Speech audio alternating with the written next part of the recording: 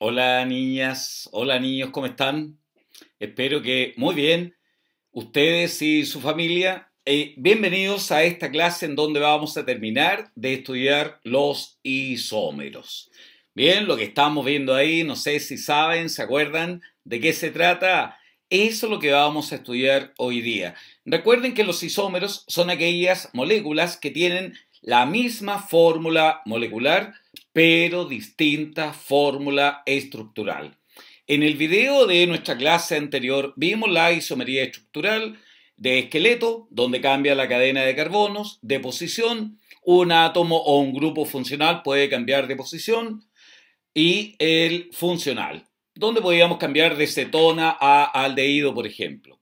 Vamos ahora entonces con el segundo tipo de isomería, denominada estereoisomería. ¿Cuáles son las isomerías que vamos a estudiar? Vamos a partir con la isomería geométrica, cis, trans, de conformación y óptica, o isomería con centros quirales o centros asimétricos. ¿Ya? Este lenguaje tenemos que manejarlo bien. Vamos a estudiar los tres tipos de isomería denominada estereoisomería. ¿Ya? Esta isomería óptica se llaman también enantiómeros, de enantiómeros. Y esto de aquí, diasteroisómeros. Ya para que no sea sorpresa el encontrarnos con esta terminología un poquito más adelante. ¿Ya? Estereoisómeros entonces. Vamos a partir con los geométricos, cis trans, con los de conformación, donde vamos a ver los eclipsados y los alternados y la isomería óptica. ¿Ya? Vamos con ello entonces. ¿Qué son los estereoisómeros? Son aquellas moléculas que tienen el mismo número y tipo de átomos, unidos a los mismos átomos también, pero en diferente disposición espacial. Como vamos a ver aquí, en el espacio, miren, en esta molécula, que es un alqueno, ahí está el enlace doble, ¿verdad? Este átomo de carbono, este grupo metil y este otro átomo están en el mismo plano, hacia el mismo lado, ¿se fijan? Y aquí este sigue en la misma posición, pero este otro se ha cambiado a la otra posición. Esos son los isómeros geométricos, isómeros cis e isómeros trans, ¿ya? El segundo tipo de estereoisomería que vamos a estudiar son los isómeros ópticos. Esta molécula que está aquí y esta de acá tienen los mismos átomos, ¿verdad? Unidos, tal como se ve aquí, pero son moléculas distintas. Ya vamos a ver por qué. Una es la imagen especular de la otra, como si fuese un espejo aquí entre medio. ¿Verdad? Pero al tratar de superponer las moléculas, vamos a darnos cuenta que no es posible. ¿Ya? Eso se llama enantiómeros, isomería óptica. Y en tercer lugar, el tercer tipo de estereoisomería que vamos a ver son los isómeros de conformación, donde vamos a estudiar una eh, molécula eclipsada. Por ejemplo, si mis manos fuesen carbonos, usted podría llegar al momento que ven solamente una mano, porque la eclipsa a mi otra mano que está detrás, ¿verdad? Y alternada, ¿ya? Eso es lo que vamos a estudiar. Y vamos a partir de inmediato, niñas, niños, con isómeros geométricos. La definición que ustedes ven aquí, mmm, la vamos a ir mejorando, pero es la definición que da el DEMRE. ¿Quién elabora las preguntas que les va a permitir a ustedes ser seleccionados en un par de años para entrar a la universidad. Aunque hay compañeros de cuarto medio que también ven estos videos, ¿verdad? ¿Está bien? ¿En qué moléculas, profesor, vamos a observar isomería geométrica? En alquenos y en eh, hidrocarburos cíclicos. ¿Ya? Ahí los vamos a ver. Por ejemplo, el plano que veíamos recién, el esquema también es del DEMRE. ¿eh? Ahí está. Los grupos funcionales X los tenemos ambos hacia este lado. ¿Se fijan? Sería un isómero cis. Se escribe con cursiva. ¿ah? Qué raro que el DEMRE lo haya escrito de la misma manera, con una letra normal, ¿no? Se escribe en cursiva. Y cuando están en distintos planos, se fijan, este X está por este lado y el otro por acá, se llaman isómeros trans. Entonces, esta eh, isomería geométrica se observa en alquenos y en hidrocarburos cíclicos, en compuestos cíclicos. Lo mismo aquí. Se fijan, eh, trazamos una línea entre estos dos carbonos y los metil están hacia el mismo lado. Isomería cis. Y aquí, profesor, el metil quedó en este lado, pero el otro en otro lado. Isomería trans. Profesor, ¿no se pueden poner para el otro lado en una misma molécula e ir cambiando? No, no, porque en el enlace doble, como vamos a ver ahora, los átomos de carbono pierden la capacidad de girar que se observa cuando hay un enlace simple, ahí giran, pero cuando hay un enlace doble no. En las estructuras cíclicas tampoco pueden rotar. Así que, ¿está bien? Eso se observa en aquellos isómeros geométricos. ¿Ya? Como ven aquí ustedes, estos átomos de carbono que están unidos aquí arriba por un enlace carbono-carbono simple, uno puede rotar. Pero cuando hay un enlace doble o estamos ante una estructura cíclica, no pueden rotar estos átomos. Por lo tanto, este grupo funcional verde y este otro verde quedan en este plano del alqueno. ¿Qué isomería geométrica sería? Muy bien, sería isomería cis, porque están del mismo lado. Y aquí, vean ustedes, pongan pausa y ven cis o trans. ¿Dónde está el enlace doble? Ahí trazamos una línea. ¿Quedan en el mismo plano? Exactamente en el mismo plano. ¿Qué isomería es?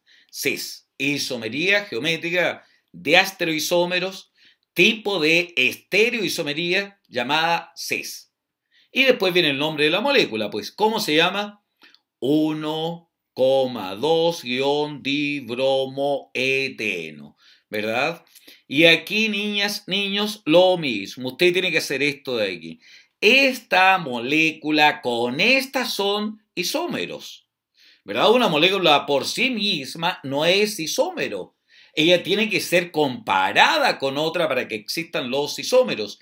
Igual fórmula molecular, distinta fórmula estructural. Entonces esta sería una molécula trans. Muy bien. Están en lados opuestos. Isomería trans. Y el nombre, claro, se llamaría así, cis, guion 1,2-dihidrometeno o simplemente cis y la otra molécula trans 1,2-dibromoeteno. ¿Está bien? Esas son las isomerías geométricas. El mismo nombre, la diferencia es cis y trans. ¿Él también sería un isómero geométrico? No, esta es otra molécula. Otra molécula distinta. No se llama igual. ¿verdad? No sería un isómero geométrico, sería un isómero de posición, ¿verdad? Que ya estudiamos en parte 1. ¿Cómo se llamaría esta molécula? 1,1-dibromoeteno, ¿verdad? Cuidado, es un isómero de posición de él, ¿ya? No un isómero geométrico. En el isómero geométrico solo cambia la distribución espacial. Eso es lo que ocurre en todos los estereoisómeros. Son los mismos dedos unidos a la mano, ¿verdad? Pero cambian de posición, por ejemplo. ¿Ya? Estos son los isómeros geométricos. Entonces, ¿qué isomería sería esa de la otra molécula que les voy a poner aquí? ¿De esa otra? Esta sería la molécula, la de arriba, cis. Muy bien. Y la otra, trans. Entre ellas pueden presentar algunas propiedades muy distintas. Suponte tú que este fuese de mayor electronegatividad que este otro. Por supuesto que la molécula tendría, ¿verdad?, un delta de cargas negativas hacia este lado, a diferencia de lo que pasa en esta otra molécula. Cuidado, estas pueden tener entonces los isómeros geométricos propiedades muy distintas en relación a punto de fusión, reactividad química, eh, distribución de cargas, en fin, polaridad molecular, ¿ya? Isomería geométrica cis-trans, primer tipo de estereoisomería. Y aquí entonces, ¿qué sería la primera molécula respecto de la segunda? Muy bien, sería una molécula trans porque están en lados opuestos. Y esta otra sería un isómero cis. ¿Estamos bien? ¿Cis? Excelente. Vamos entonces con los eh, un tipo de estereoisomería, repito, que se observa en eh, los tipos de isomerías que estamos estudiando. ¿Ya? Entonces veíamos los geométricos en alquenos y ahora en moléculas cíclicas. ¿Ya? Veamos este primero. El primero, entonces ponga pausa usted y diría esta molécula comparada con la que voy a poner al lado sería cis o trans. Tiene lados. No tiene la capacidad de rotar fácilmente los átomos de carbono. Así es que miren, trazamos la línea entre los carbonos. Este bromo y este bromo quedaron del mismo lado. Sería una isomería cis. Muy bien. ¿Y qué tendríamos que hacer si a usted le piden un isómero trans? ¿Qué haría con él? Este bromo lo pone aquí o este bromo lo pone acá. Estarían en planos distintos. Aquí, por ejemplo, estaría el bromo aquí y el bromo en el otro plano. ¿Se ven? Posición trans. Seguiría llamándose profesor bromociclopropano, claro, 1,2-dibromo ciclopropano. Pero este sería cis 1,2-dibromo ciclopropano y él sería trans 1,2-dibromo ciclopropano. ¿Está bien? Esos serán los isómeros geométricos diastereoisómeros, un tipo de estereoisomería. Sigamos entonces ahora con el segundo tipo de estereoisomería, isómeros con centros asimétricos o isómeros ópticos o enantiómeros. Por favor, tienen que manejar esto. Yo les puedo decir qué moléculas, ah, les pongo varias moléculas y les pido cuáles son consideradas enantiómeros y ustedes tienen que entender que eso es lo mismo que isomería óptica.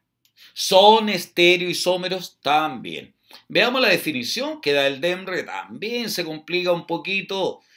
Eh, este tipo de isomería dice se presentan aquellas moléculas capaces de girar el plano de la luz polarizada. Esa es la característica, pero no es uno. ¿Cómo lo va a ver así eso? No, no lo podemos ver nosotros. ¿eh? En cambio, una molécula, si a mí me dicen esta otra con esta otra, tiene isomería óptica y las dibujo, ahí sí, pues es cierto, una gira la luz polarizada en un plano, si lo hace girar hacia la derecha es dextrógira o rotatoria y la otra sería levógira o rotatoria, ¿Ya? Pero el esquema es muy claro, es del DEMRE también. Para que una molécula, niñas, niños, presente isomería óptica en antiómeros, esa molécula debe presentar al menos un carbono quiral. Quiro quiere decir mano, quiropteros, por ejemplo, quiropraxia, quiropraxis. Eh, este es un carbono quiral. ¿Por qué, profesor, es un carbono quiral? Porque él tiene una hibridación sp3, o sea, tiene cuatro enlaces sigma, cuatro enlaces simples, y los cuatro grupos unidos a él son distintos hidrógeno, cloro, alcohol, metil. Si no son los cuatro grupos distintos, no sería un carbono quiral. ¿Está bien? ¿Cómo voy a identificar un carbono quiral, profesor? Cuando presenta uno, dos, tres, cuatro enlaces y los cuatro grupos unidos a él son distintos. Él presenta isomería óptica. Él presenta enantiómeros. ¿Está bien? Entonces, aquí vamos a usar eh, nuestras manos. ¿Tu mano derecha y tu mano izquierda son iguales?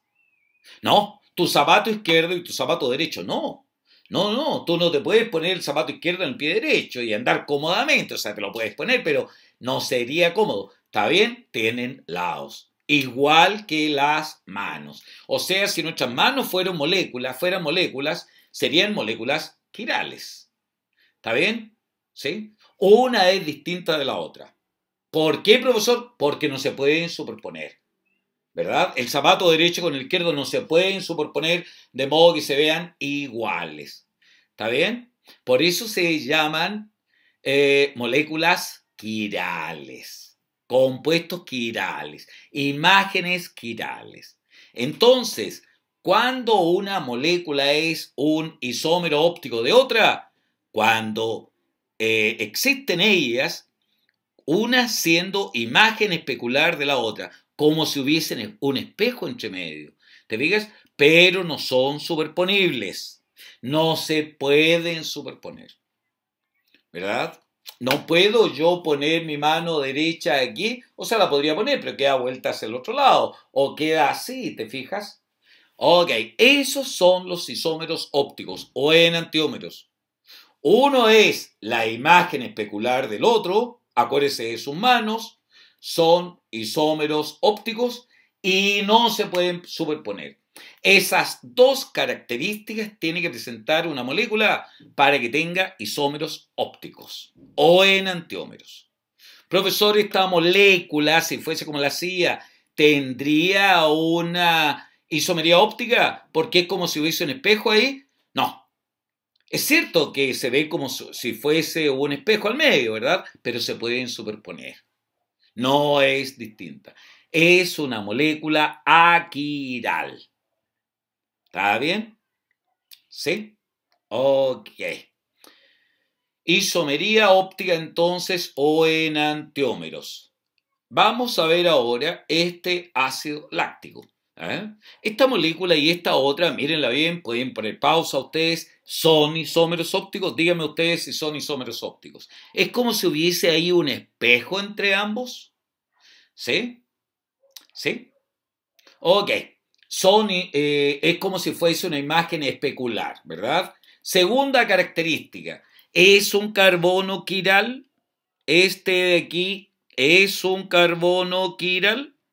A ver, tiene el grupo ácido, un hidrógeno, un grupo metil, un grupo alcohol. Muy bien, un grupo hidroxia en este caso. Muy bien, tiene los cuatro grupos distintos. Es un carbono quiral. ¿Eh? ¿Son isómeros ópticos o enantiómeros? Sí, son isómeros ópticos o enantiómeros, con similares, iguales propiedades físicas y químicas. Cuidado, biológicas no. Biológicas no. Bien, este ácido entonces y el otro son moléculas distintas, son isómeros. Esos son los isómeros, moléculas distintas con la misma fórmula molecular, pero distinta estructura. Si ustedes tratan, se imaginan tratar de superponerlo acá, no podrían, ¿verdad? Porque el CH3 quedaría encima del CH3, el, grupo ácido también encima del grupo ácido, pero este hidrógeno quedaría a este lado y aquí estaría el OH. Son moléculas distintas. ¿Está bien? Esta también, ponga pausa usted y me dice si son o no son isómeros ópticos. Bien, ¿cómo les fue? ¿Son o no? No, pues, no son isómeros ópticos. ¿Cumplen el primer requisito de ser imagen especular? Sí. ¿Se pueden superponer? Sí. Ah, entonces no son isómeros ópticos. Es la misma molécula. Mire, trate de ponerla aquí, encima. Se puede poner, pues, CH3, COH. H encima del H y el otro H que está aquí encima de él. No es un carbono quiral. Entonces, cuidado con esto. Si yo en las pruebas les pongo dos moléculas usted, y les pregunto, ¿cómo aquí son isómeros ópticos? Usted tiene que fijarse que cumpla con las dos características. Número uno, ¿es la imagen especular la una de la otra? Sí, ok, vamos con la segunda característica. Al tratar de superponerlas, ¿se ve que no calzan? Se ve que no calzan. Son ópticos. Aquí calzan, no son isómeros ópticos. ¿Por qué no? Porque no es un carbono quiral. ¿Por qué no es un carbono quiral, profesor? Porque este grupo y este otro son iguales. ¿Está bien? Ok. El ácido propanoico entonces que veíamos ahí y acá es la misma molécula. ¿Qué hizo distinto al ácido láctico primero que veíamos y al segundo? Ah, que este es un carbono quiral. ¿Ya? Entonces podría yo preguntarle a usted, ¿dos moléculas son isómeros ópticos cuando presentan eh, uno la imagen especular de la otra? Sí. Y en segundo lugar, presentan al menos un carbono quiral? Exactamente. ¿Ya? Carbono quiral. De hecho, la cantidad de isómeros ópticos máximos teóricos que puede formar una molécula es 2 elevado a n, donde n representa el número de carbonos quirales. O sea, si una molécula tiene dos carbonos quirales, podría presentar cuatro isómeros ópticos. ¿Está bien? ¿Quedó claro lo que es un isómero óptico? No, mucho, no importa. Vamos a ver la siguiente diapositiva. ¿Él tiene isómeros ópticos? ¿Son isómeros ópticos? ¿Es como si hubiese un espejo entre medio? Sí, son isómeros ópticos. ¿Son iguales? No. Tratemos de superponer. Vamos a girarla un poquito para poner, superponer el verde, el negro y el morado. Ah, mira cómo quedaron distintos sellos. No son superponibles. Lo mismo los otros, si hacemos calzar los rojos, no coinciden. ¿Cómo sé que son isómeros ópticos? Porque uno es la imagen especular del otro. Segundo lugar, segundo criterio, no son superponibles. ¿Te fijáis? No son superponibles. ¿Por qué no, profesor? Porque presenta al menos un carbono quiral. ¿Ya? Por eso no es la misma molécula, son isómeros. ¿Aclara bastante esta imagen? Qué bueno. Bien, sigamos entonces.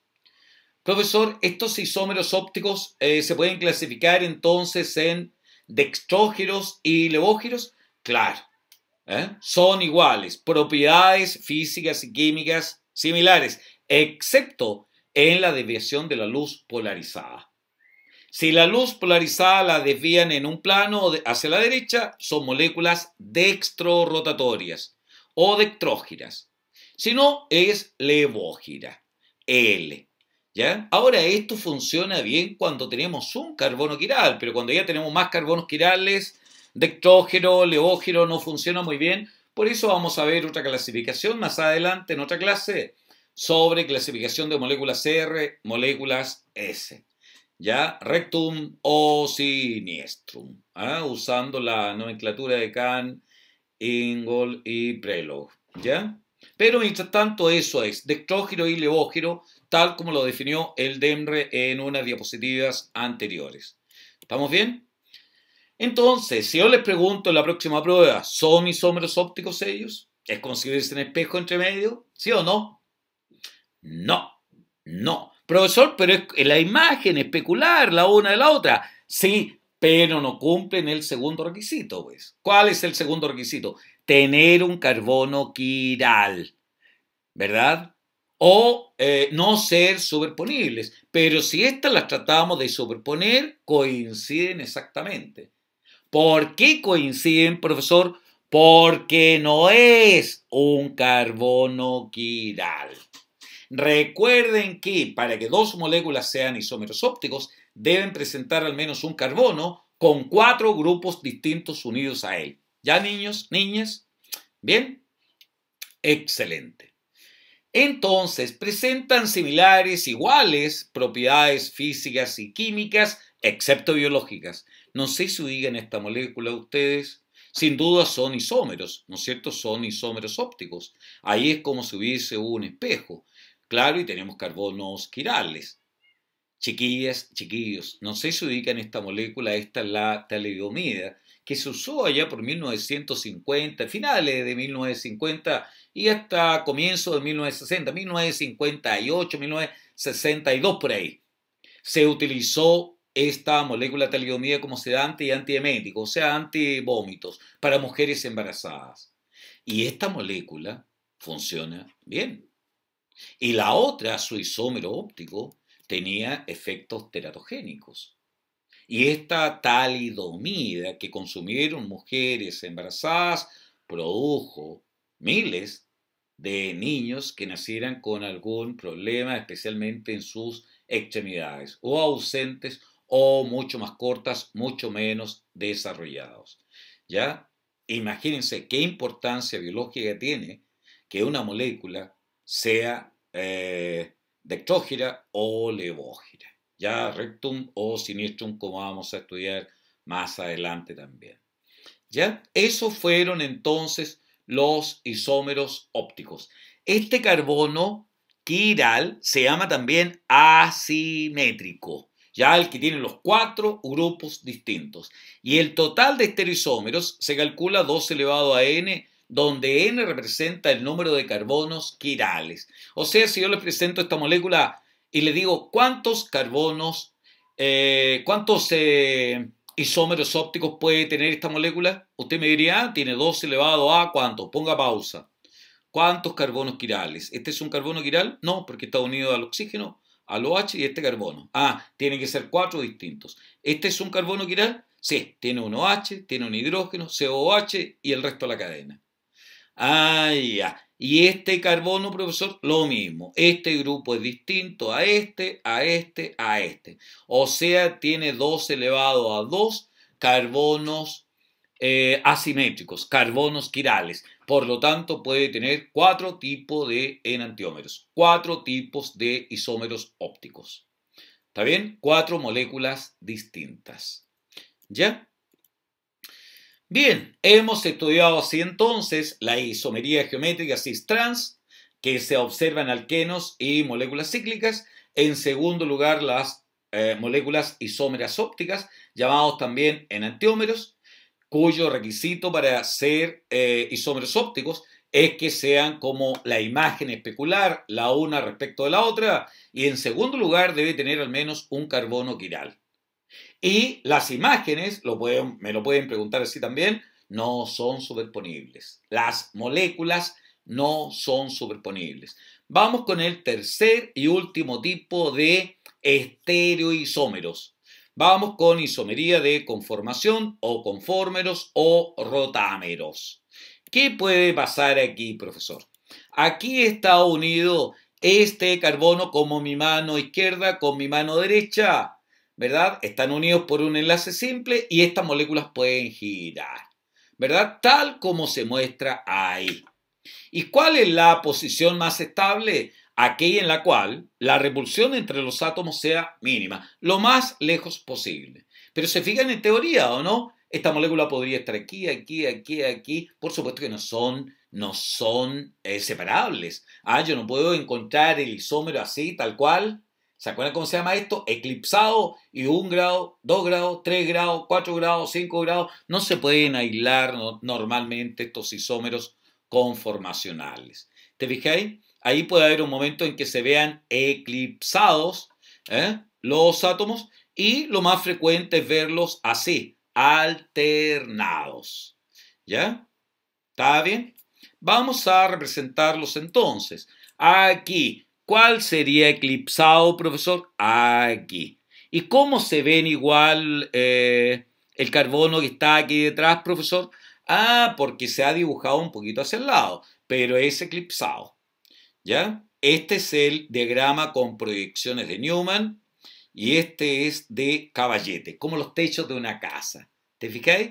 Si usted mirase de aquí derechito este carbono con este otro alineado, Ah, vería solamente tres hidrógenos, eclipsado.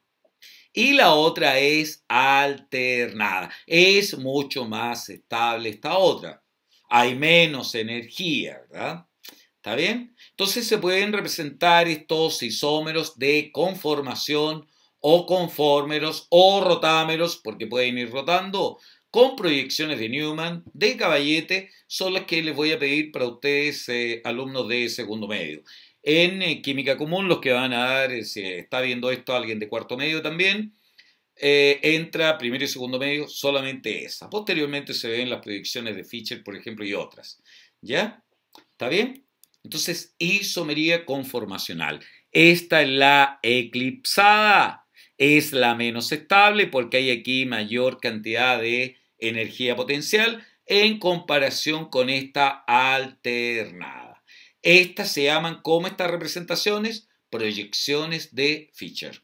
Recuerden que este es el carbono que está aquí adelante y este con un círculo el carbono que está detrás.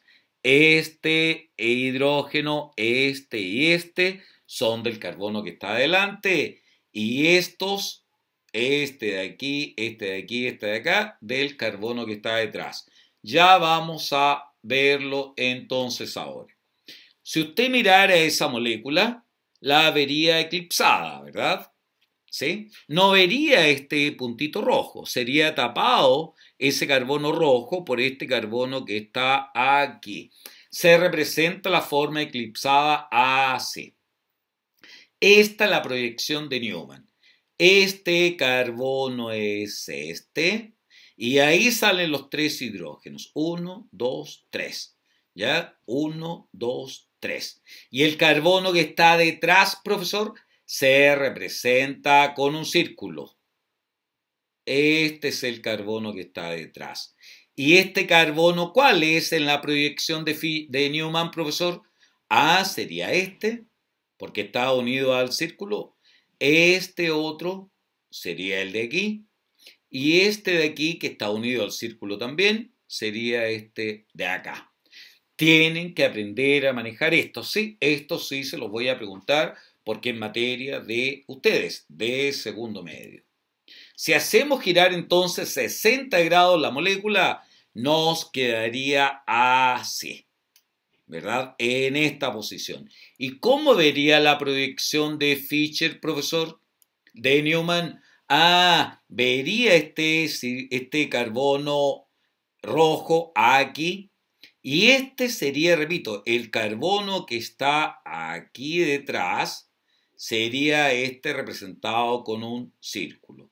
Si este es el hidrógeno 1, 2, 3, 4, 5, 6, lo, eh, le digo que ponga pausa y ubique aquí los hidrógenos 1, 2, 3, 4, 5, 6. ¿Ya? Entonces, este que está aquí está unido al carbono de adelante. Este es el 2. Este está unido al carbono que está adelante. Este hidrógeno el 6. El 6.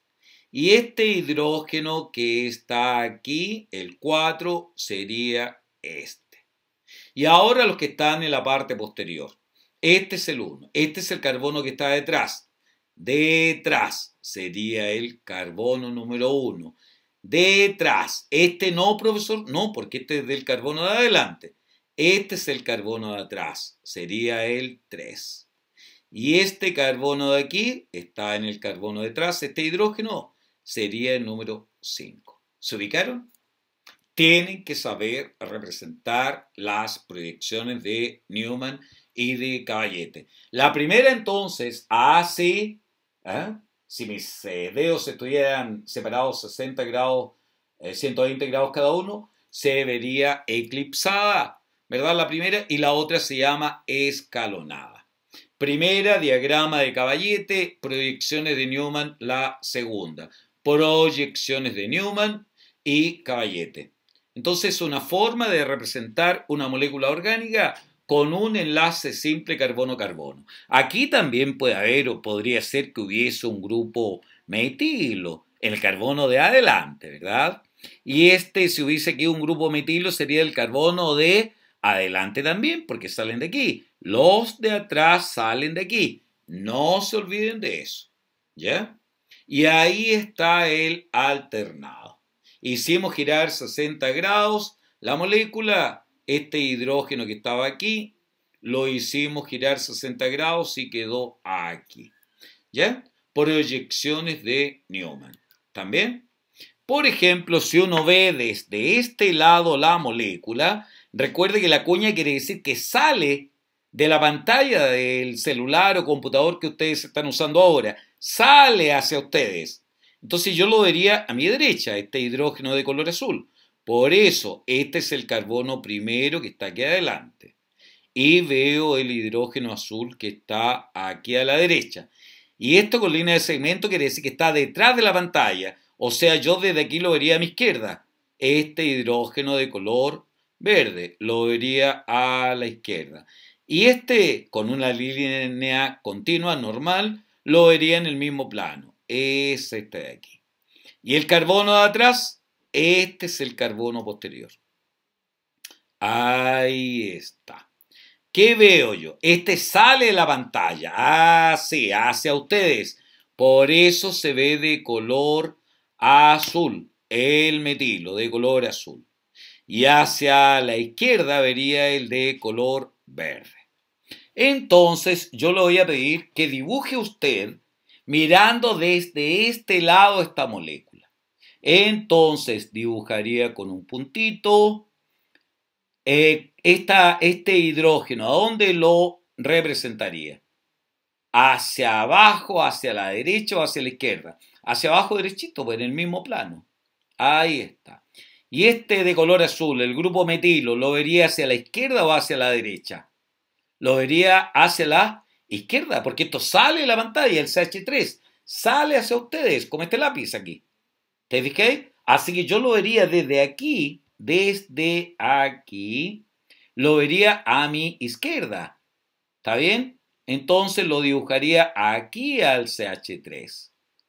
Y aquí el hidrógeno hacia mi derecha vería, porque te entra, está detrás de la pantalla de tu celular, el hidrógeno de color verde. ¿Está bien? Y el de atrás, ¿cómo se dibuja el carbono de atrás? Con un círculo. Este sería el carbono de atrás. Derechito aquí en el mismo plano, este hidrógeno de color negro. Y hacia la izquierda lo vería desde aquí porque sale de la pantalla, vería el hidrógeno de color azul. ¿Verdad? Entonces hacia la izquierda vería el de color azul y hacia la derecha el de color verde. ¿Cómo les fue? Bien. Ahora, ustedes en la prueba van a ver la molécula de un solo color. Yo lo hice aquí con fines ilustrativos le voy a pedir que me represente la proyección de Newman para esta molécula. Esta nomenclatura de cuñas, de línea de segmento, de línea normal, es nomenclatura universal aceptada por la UPAC. ¿Ya? Y podemos usar un solo color. Con fines didácticos usé estos colores. Y así hemos terminado, niñas, niños, el tercer tipo de isomería. Estudiamos entonces isomería geométrica cis-trans en alquenos, en eh, moléculas cíclicas estudiamos los hidrocarburos eh, con simetría geométrica cis y trans, ¿verdad? La geométrica dije, después los isómeros ópticos. Para que haya isomería óptica tiene que haber una imagen especular. En segundo lugar, un carbono quiral. Las moléculas no son superponibles. Y el tercero fue el tipo de conformación que se observa entre moléculas carbono-carbono, enlace carbono-carbono, con libre rotación. Bien, que estén muy bien, un abrazo para todos y no se olviden que todos, pero principalmente tú, que eres joven, todos podemos ser genios. Que estén muy bien y nos vemos, pequeños genios, en nuestra próxima clase. Chao, chao, que estén muy bien.